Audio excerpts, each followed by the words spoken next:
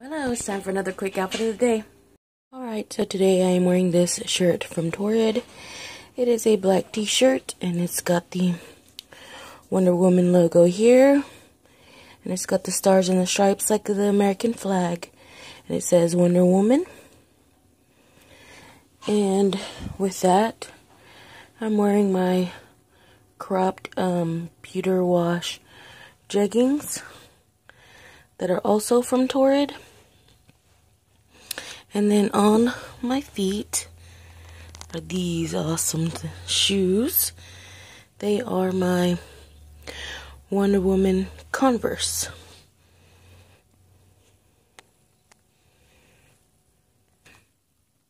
Alright, and here is a closer look at the shoe. It's got Wonder Woman all around it. On the back it says Converse. Here's some more Wonder Woman. And it also says Wonder Woman here on the tongue. And on the inside, it's got the Wonder Woman logo. I love these shoes. Alright, and that is it for now. Bye.